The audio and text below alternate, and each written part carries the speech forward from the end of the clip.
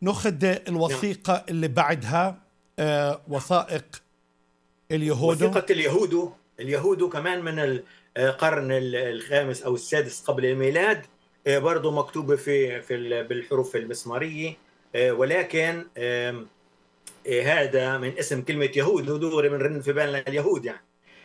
ولكن هي مجموعة لوحات من الطين من القرنين الخامس والسادس. بتعطينا معلومات عن حياة المسبيين. إحنا هسه حكينا عن حياة الملك وحشيته طيب شو مع المسبيين؟ كمان هون موثق حياة المسبيين من مملكة يهوذا في بابل بعد خراب الهيكل.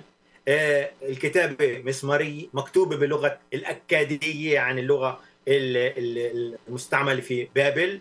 وبتحكي عن مسائل قانونية وإدارية آه، آه، دفع الضرائب القروض. وهون بيبرز مجموعة من آه، آه، أطراف هاي الاتفاقيات اليهوداي اللي حسب اساميهم مبين إنهم هن من آه، من يهوذا من من من مملكة يهوذا.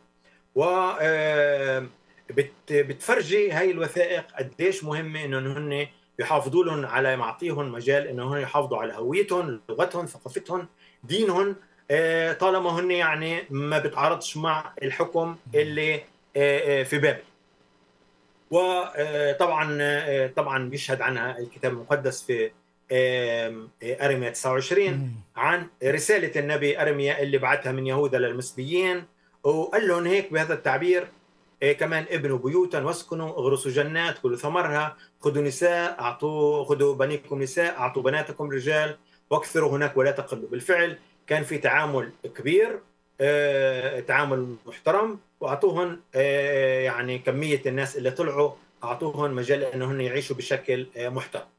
ممتاز وكمان يعني فعلا الإشي العجيب أخ مكرم أنه بتشوف نفس الكلمات ونفس الكتابات موجودة في الكتاب المقدس وهي نبوة أرميا طبعا اللي رفضوها. في أيام صدقية وسبب السبي البابلي.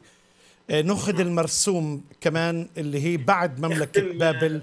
نختم في المرسوم برضه بكمل الصورة. من بعد ما من بعد ال 70 سنة آه، الملك كورش سمح لهم أنهم يرجعوا آه، كمان 538 قبل الميلاد. برضه المرسوم موجود على ألواح طينية وهذا المرسوم بالشكل الأسطواني اللي شايفينه بيكتبوا الملك كورش باللغة الأكادية وبيسمح للشعوب اللي طردها البابليين إنه يرجعوا ويرمموا معابدهم ويمارسوا شعائرهم.